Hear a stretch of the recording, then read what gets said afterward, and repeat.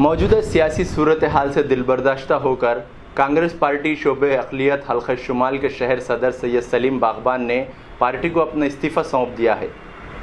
मौजूदा सियासी सूरत हाल से दिलबर्दाश्ता होकर समाजी खिदमतगार सैयद सलीम बागवान ने कांग्रेस पार्टी शोबे अकलीत हल्का शुमाल शहर सदर अहदे से इस्तीफ़ा दे दिया है। उन्होंने अपना इस्तीफ़ा अकलीती शोबे के ज़िला सदर शमीम अब्दुल्ला के सुपुर्द किया। उन्होंने बताया कि मौजूदा हालात में पार्टी के साथ रहने में इन्हें घुटन महसूस हो रही थी और वो खुलकर काम नहीं कर पा रहे थे। इसलिए उन्होंने बगैर किसी दबाव में अपने ज़मीर की आवाज़ पर इस्तीफ़ा देने का फ़ैसला किया।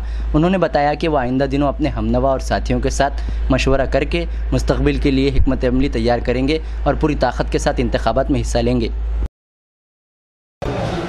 मैंने जो है आज की तारीख में अल्पसंख्या के उत्तर के शहर अध्यक्ष का राजीनामा दे दिया हूँ, पार्टी का, कांग्रेस पार्टी का। और मैं जो दस साल से कांग्रेस पार्टी में जो काम कर रहा था मेरे वार्ड के लोगों को भी, तमाम लोगों को भी और कांग्रेस के रहनुमा लोगों को भी सबको मालूम है। और आगे भी मैं काम करूँगा, तमाम लोगों से उम्मीद है मेरे को और पूरे लोगों के आवाम की मेरी चाहत है। आवाम ने मेरे को बोली आली है।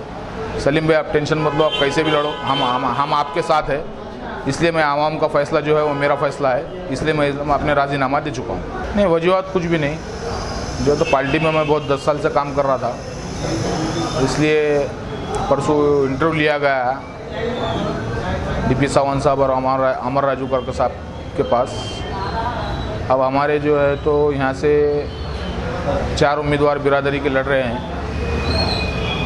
जिसमें डी पी सावंत साहब ने बोले, एक बावन बिरादरी को टिकट देंगे। इसलिए मेरे से बड़े लोग हैं वो। इसलिए मैं अपने आप को छोटा समझते हुए मैं इस्तीफा दे दिया।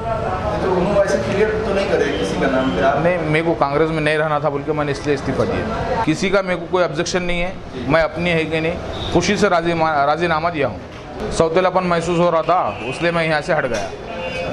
फ्यूचर में क्या है फ्यूचर में तो इंशाल्लाह मैं इलेक्शन लड़ूँगा चाहे अपक्ष लड़ूँगा या अभी कुछ निर्णय निर्णय नहीं लिया मैं।